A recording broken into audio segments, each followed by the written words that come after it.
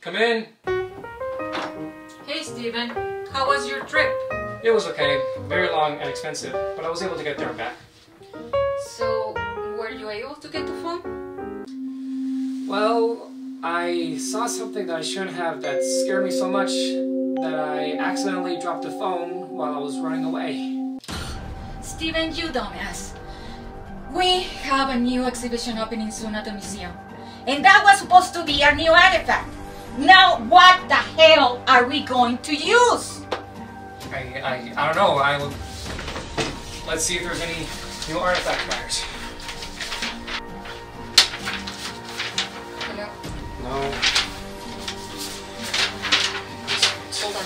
Well, come on. Ain't that all damn day? Wait a minute. What's this?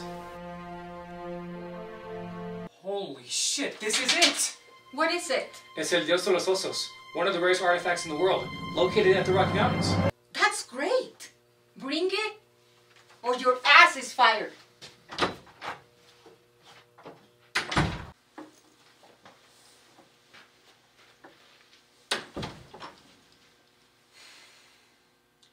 Well, time to get the artifact.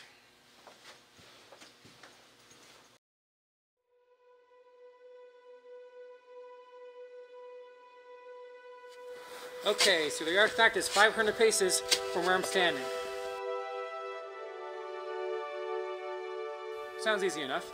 Much less tiring than last time. 498, 499, 500.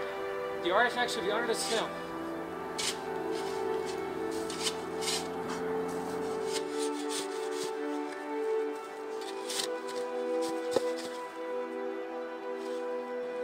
There it is. El Dios de los Osos. Ah, shit, this again!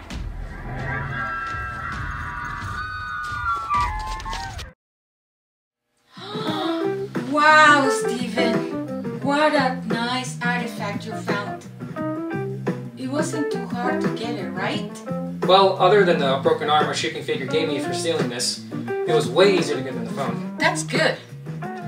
This is a very nice replacement for that phone you never bring back. But George told me about a, a golden amulet that got lost in the ocean. And it might go very nicely with this. Would you like to retrieve it? How do I get it for you? I'm going on vacation to get away from this shit.